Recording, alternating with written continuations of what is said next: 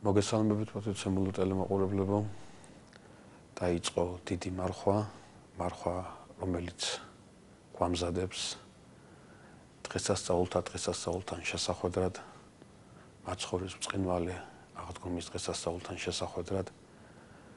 და საეკლესიო განჩინებით ამ მართლა ენით გამოუთქმელი სიხარულის დამტევ დღეს უნდა შევხვდეთ მაქსიმალურად სულიერად გაწმენდილები, რომლის საშუალებადაც გარდა ჩვენი პირადი სათნოებებისა, რომლებსაც აღვასრულებთ ყოველდღიურ ცხოვრებაში, აუცილებელია ლიტურგიკულ ღვთისმსახურებაში აქტიური მონაწილეობა, სხვაგვარად რო ვთქვათ, ლიტურგიკულ ღვთისმსახურებაში მონაწილეობითაც მოვემზადოთ მაცხოვრის ბრწყინვალე აღდგომის შესახვედრად. საეკლესიო ღვთისმსახურება საკმაოდ დატვირთულია დიდ მარხვის პერიოდში. ის თავისებურია განსხვავებულია საფრთხისახურო იმ ციკლისაგან რომელიც მთელი წლის განმავლობაში აღესრულება ჩვენს ტაძრებში ჩვენს მონასტრებში და საჭიროდ ჩავთვალეთ აი ამ ღვთისმსახურებიდან რამდენიმე ელემენტი გამოგვეყო და რამდენიმე საკითხთან საკითხავთან დაკავშირებით გვესაუბრა თქვენთან. საკითხავები, რომელზეც ჩვენ ვაპირებთ თქვენთან საუბარს, იკითხება წუხზე, მეექვსე ჟამზე და ეს საკითხავები თავის თავში გულისხმობს საწინასწარმეტყველოთა სმენას მოწმეებისათვის და სწორედ აი ამ საწინასწარმეტყველოებზე გავამახვილებთ თქვენს ყურადღებას. აი ამ დიდ მარხვის პერიოდში ჩვენ გადაცემებში. საწინასწარმეტყველო მას ეწოდება, ამ საკითხავს ეწოდება არა მხოლოდ იმიტომ, რომ მხოლოდ საწინასწარმეტყველის სიტყვებია წასაკითხი. საწინასწარმეტყველო შეიძლება შევიდეს სხვადასხვა საკითხავები, თქვა სიბძნის, სოლომონის სიბძნის წიგნიდან საკითხავები, შესაძლებელია შევიდეს მოსეს ხუციგნეულის პირველი წიგნის შესაქმის წიგნიდან საკითხავები, თუმცა ყველაფერი ეს საწინასწარმეტყველოთია მოხსენიებული, იმდენად რამდენადაც აქ განიჭვრიტება ის სამომავლო სიხარული, რა სიხარულიც დაიწყო ქვეყნიერებაზე მაცხოვრის შობით და უდიდესი ხიარულები დაგვირგვინდა მაცხოვრის აღდგომით. დიდ მარხვის პირველ კვირას საწინასწარმეტყველოში მეექვსე ჟამზე ესაია წინასწარმეტყველის სიტყვებს ვკითხულობ. ზოგადად უნდა აღინიშნოს, რომ მთელი მარხვა ესაია წინასწარმეტყველის წინა საწინასწარმეტყველო სიტყვებით არის გაჯერებული. და მას ძველი აღთქმის מחარებელსაც კი უწოდებენ ვინაიდან საკმაოდ მრავლადი წინასწარმეტყველა იმ სიხარულის შესახებ რა სიხარულიც მაცხოვრის მოსვლით მაცხოვრის აღდგომით მიეცა კაცობრიობას.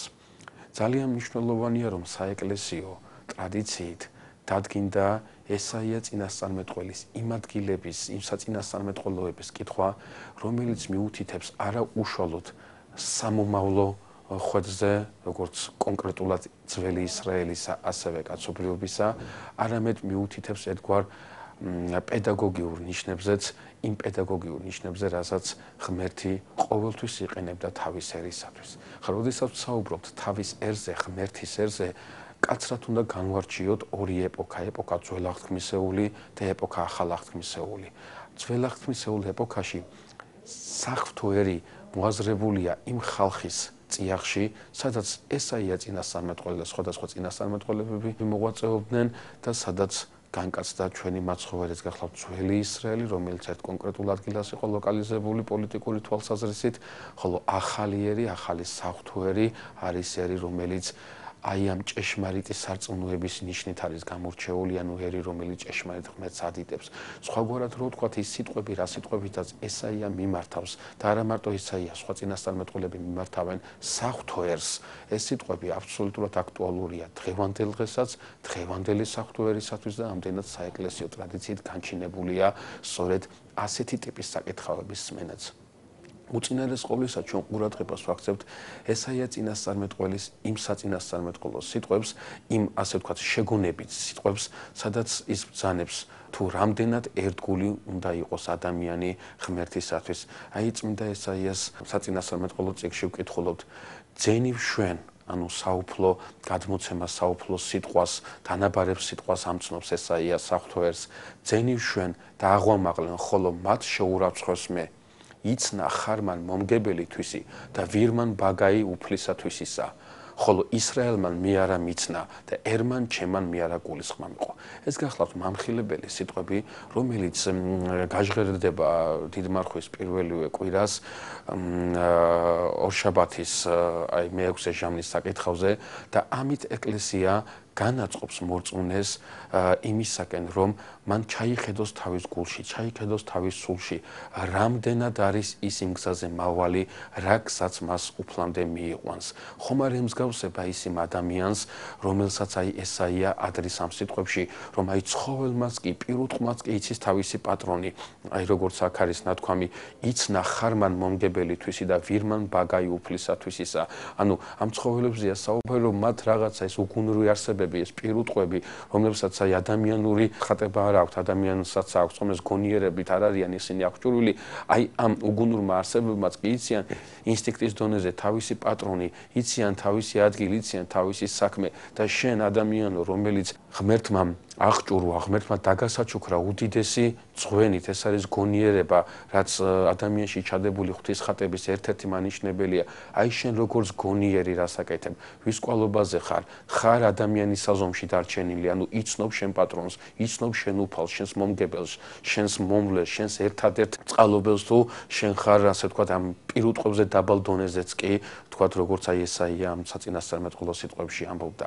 სხვათა შორის ძალიან მნიშვნელოვანია შედარება, ის შედარება, რასაც ესაია წინასწარმეტყველი შემდგომ გვაწვდის, როგორი შეიძლება ასეთი ადამიანის დამოკიდებულება განისაზღვროს ღმერთთან და პირიქით, ღმერთს რა დამოკიდებულება აქვს იმ ადამიანს, რომელიც მის გზაზე არ დადის. ძალიან საინტერესოა ესეთი სიტყვები. სავსე ვარ მე ყოლად დასაწოლითა, ვერძითა და ცმელითა, კრავთათა და სისხლითა, ყუროთა და ვაცთა. ესე იგი მე მსხვერპლებით სავსე ვარ. თქვენ მე მსხვერპლს წირავთ. ანუ რაღაცა გარეგნული მსახურება, გარეგნული მსახურება, თქვა რაც შეიძლება გამოხატული იყოს გარეგნულ ქმედებებში, ამს ეს თქვენ არ გაკლიათ, ეს თქვენ ამას თქვენ სავსებით აკეთებთ. თუმცა წმინდა ესაია წინასწარმეტყველი მიუთითებს რომ მარხვა და უქმობაი და დღესასწაული თქვენის ძუნან სულ საჩემსა. ესე იგი ეს გარეგნული ქმედებები, ეს გარეგნული ასე ვთქვათ, ხილული მხარით რაც ახესრულება ღვთისთაყვანისცემის თვალსაზრისით, მხოლოდ ამით თუ შემოიფარგება ღვთისთაყვანისცემა, ასეთი გინდა მარხვა იყოს, გინდა სხვადასხვა სახის მსახურება ერქვა ღვთისადმი, ღვთისათვის ის საძალგერია, საძულველია. ერთადერთ მსახურებას, ერთადერთ ასე ვთქვათ, თაყვანისცემას, რომელსაც ღმერთი ითხოვს ადამიანისაგან, ეს არის გარეგნულად გამოხატული თუმცა შინაგანად სავსე გულით სავსე მორწმუნის ქმედება. აუცილებელია მორწმუნე შინაგანად იყოს გამშვალული სიყვარული ღვთისადმი და მხოლოდ ამის შემდგომ გამოხატავდეს ის თავის აი თქვა გარეგნულ ქმედებებს რაც თქვა ჩვენს დღევანდელობაში შეიძლება მრავალი მეტანით გამოიხატოს თუ სანთლის დანთებით გამოიხატოს. მხოლოდ დანარჩენი სულს სულს ჩემს ამბობს უფალი წმინდა წინასწარმეტყველის პირით. ოდეს განიპყრეთ ხელნი თქვენი ჩემდამო მოვაქცივნე თვალნი ჩემნი თქვენგან და უკვე თუ განამრავლეთ ვედრებაი არა შევისმინო თქვენი რამე თუ ხელნი თქვენი სისხლთა სავსე არიან ესე იგი აღმოჩნდა რომ ესაა წინასწარმეტყველი საუბრობს ისეთ ადამიანებზე, საუბრობს ისეთ ღვთისმსახურებზე, ღვთისმსახურებაზე, რომელიც ოდენ გარეგნული ფორმით გამოიხატება. შესაძლებელია ვედრებაც კი გამრავლებული იყოს, შესაძლებელია ხელიც კი გამყრობილი კონდეს უფლის წინაშე. შესაძლებელია ასე ვთქვათ, ძალიან ბევრს ვაკეთებდეთ მის ტაძარში, მაგრამ მიუღებელი იქნება, საძულველი იქნება მისთვის თუ კი ხენი თქვენი სავსე არიან სისხლითა განიბანენით, წმინდა იქმენით. მოისწენით უკეთურებანი. აი ეს გახლავთ ის ერთადერთი გზა, რა გზის შემდეგაც აი ეს გარეგნული ღვთისახურება, გარეგნული ასე ვთქვათ, თაყვანისცემა ღმერთისა ღვთისათვის საძულველი აღარ იქნება. დასხერით ბოროტაგან თქვენთან. ისწავეთ კეთილის ქნა, გამოიძიეთ მსჯავრი, იხსენით მიმძლავრებული, უსაჯეთ ბოლოცა, განამართლეთ ქვრივი. აი ეს არის ღვთისახურება. არა რაღაცის დაკვრა თქვა ძველი აღთმის ეკლესიაში, არა თქვა ახალი აღთმის ეკლესიაში, რომ გადმოვიტანოთ რაღაცა გარეგნული რიტუალების გულცივად, გულგრილად და რაღაცა ტრადიციის ყოლობაზე შესრულება, სხვა აკეთებს და მეც ვაკეთო. უწინარესად ღვთისმსახურება იწყება სწორედ იმით, რომ ბოროტზე თქვა უარი. ბოროტებაზე თქვა უარი. კეთილის ქნა ისწავლო. გამოიძიო მჟავრი, ანუ სამართლიანი საქციელი, სამართლიანი ცხოვრებით იცხოვრო. დაჩაგრული იხსნა. ობოლ შეეწიო. ქრივ შეეწიო, ხელი მოუმართო. აი ეს არის ღვთისახურება, ის ღვთისახურება, რომელსაც ღმერთი იწყობს მოწმუნისაგან. აი ამის შემდგომ მოდის სწორედ ის ის მნიშვნელოვანი, ის აუცილებელი ელემენტი ღვთისახურებისა, რაც თქვა, უკვე გარეგნული ქმედებითაც გამოიხატება. აი ამის შემდეგ წმინდა ესაია წინასწარმეტყველი უფლის სიტყვებს გადასცემს ღვთის ერს. თქვენ ცოდვებს ჩამოგრეცხთ, განვასპეტაკებთ თქვენ სულებს. და რაც თავარია, თუ გინდათ მოისმენთ, და თუ არ გინდათ არ მოისმენთ. აი ეს ძალიან მნიშვნელოვანი აი ეს თემატიკა, აი ეს აი ეს საზრისი დიდმარხვის თითქმის ყველა საკითხავში ფიგურირებს თუ გინდათ მოისმენთ თუ გინდათ არ მოისმენთ.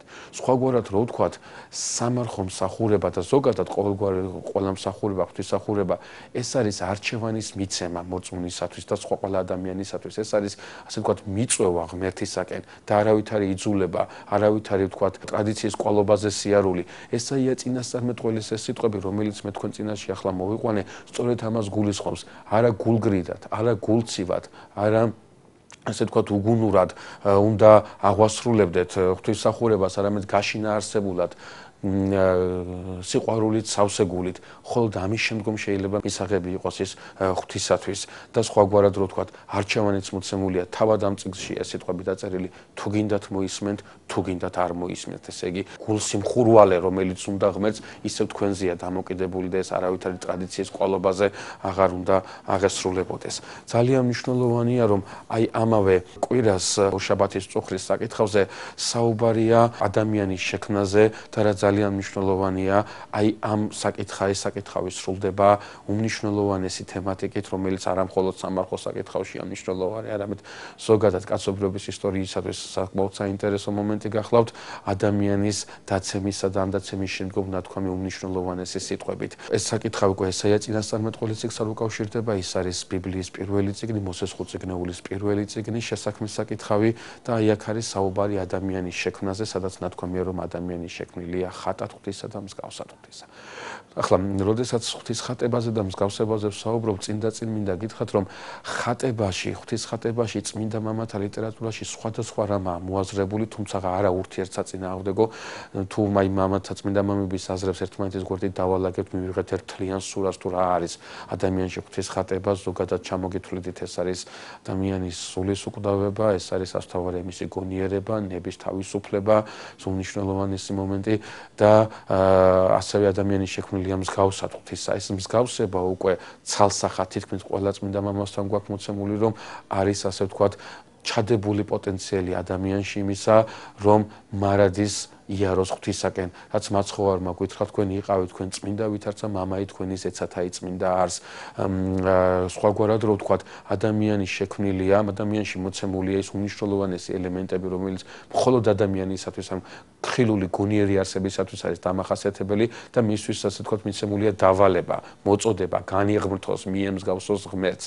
ჩვენ ვიცით და ჩვენი დღევანდელი ყოფა სწორედ ამას უკავშირდება, რომ პირველმა ადამიანმა ეს ვერ შეასრულეს მოხდა ცოდვით დაცემა და სწორედ აი ამ საკითხავზე ამახვილებს საეკლესიო ტრადიცია ყურადღება, როდესაც ცოდვის დაცემის შემდგომ ღმერთი თითქოს და თითქოს და ჯის ადამიანს, მაგრამ აი ამ სასჯელისას, ოდესაც ადამიანს აუკრძალავს სიცოცხლის ხსნაყოფის მიღებას, ოდესაც ადამიანს ვეღარ დატოვებს, აღარ დატოვებს, ვინაიდან მისთვის სამოთხეში დარჩენა აბსოლუტურად გამორიცხულია, ის დაავადდა ცოდვი და სანამ არ განიკურნება აი ამ წიაღს, ის ვეღარ გაეკარება, აი ამ პერიოდში სწორედ საფრთხო ბაგეთაგან ისმის უნიშნულოვანესი წინასწარმეტყველება, რომელიც პირველ სახარებადაც არის წოდებული, ის რომ ტრობას ჩამოაგდებს ღმერთი დედაკაცის თესლსა და გველის თესლს შორის, გველი მას ქუსლს დაუგესლავს, ხოლო აი დედაკაცის თესლისაგან მოსული გველს თავს გაუჭეჭყავს ეს გახლავთ პირველი სახარება,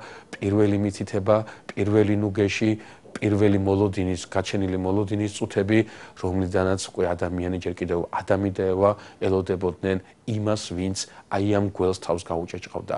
ჩვენი ეს დიდმარხვა, ეს პერიოდი, რომელიც დაიწყო, სწორედ უკავშირდება ამ მოლოდინის აღსრულებას, ის დაიწყო ბეთლემის ერთშვით საღამოს, როდესაც მაცხოვარი ამ ქვეყნად განკაცდა და დასრულდება სწორედ აი ამ დიდმარხვის ბოლოს, როდესაც მაცხოვარი მოკვდება, მოკვდება მხოლოდ იმიტომ, რომ აი თავისი სიკვდილით, თავის ფეხქვეშ გაამწაროს ჯოჯოხეთი და აი თავისი სიკვდილით ეს წინასწარმეტყველება პირველი სასიხარულო ამბავი, რომელიც აი ამ საფთო პედაგოგიკის შედეგად დამჯელ სიტყვებს თან მოსდევს, აღსრულდეს, გაგუჭეჭყოს თავი იმ გველს, რომელმაც ქუსლი დაუგესლა, ანუ ცხოვრება გაუმწარა ადამიანს.